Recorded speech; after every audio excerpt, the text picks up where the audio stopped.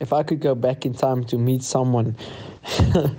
you know, a lot of people would say, I would like to meet Jesus, but they they need to realize that we actually walk with him, talk with him, and have relationship with him right now. But if I could meet anyone, it would have been Paul, you know, because Paul would have been the most amazing.